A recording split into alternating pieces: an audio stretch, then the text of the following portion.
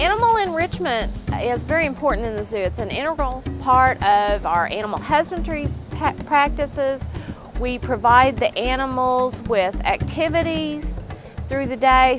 We do these things to keep the animal engaged, to keep them mentally active, and this helps the animal in the long run live a healthier, more uh, productive life in a captive situation like a zoo or an aquarium.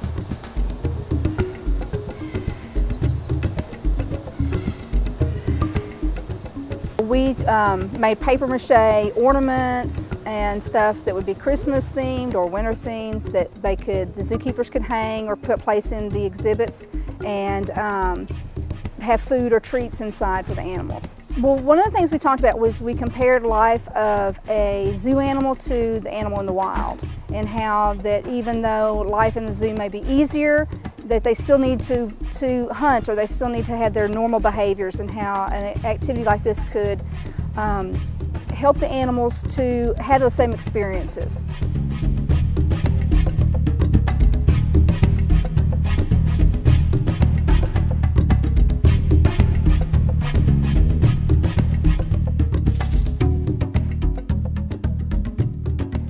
The animal studies that we do are always in the spring. And so one, one of the things I wanted to do with this was to gauge what they were remembering from last year in science and see where we need to go this year in science. And so I was trying to figure out what do they remember about what animals need, what do they want, um, food chains, you know, how the, how the flow of energy travels through the ecosystem, um, about their habitats, their environments. It was a great way for me to gauge where the kids were in their own minds and where I needed to take them in the spring.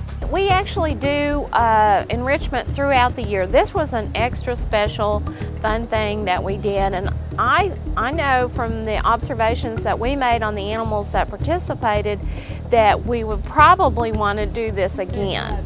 And we also can use it as a learning uh, experience because we found out that there were certain types of enrichment items that went over better than others.